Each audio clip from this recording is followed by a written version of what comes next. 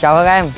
Sau đây anh sẽ à, giới thiệu cho các em một số kỹ năng dần bóng thẳng. Trong bóng đá, Dần bóng rất quan trọng vì nó sẽ giúp chúng ta làm chủ được tốc độ, vượt được qua sự truy cản đối phương. Chúng ta hãy cùng tập nhé.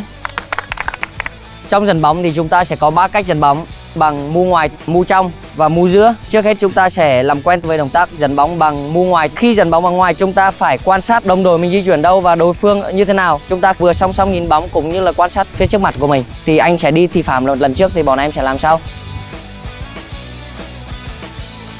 Chân chủ của chúng ta phải chắc và phải đạp mạnh thì chúng ta mới kiểm soát được trái bóng.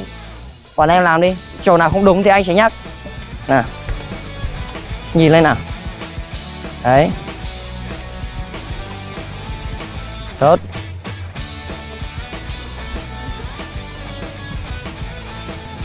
Đúng rồi. Sau đây anh sẽ giới thiệu cho các em cách dẫn bóng bằng mu trong. Thì mu trong sẽ khác với mu ngoài là chúng ta phải nghiêng người sang một bên nhiều hơn và chúng ta phải rây chân phải nhiều hơn. Anh sẽ làm trước. Còn em làm đi.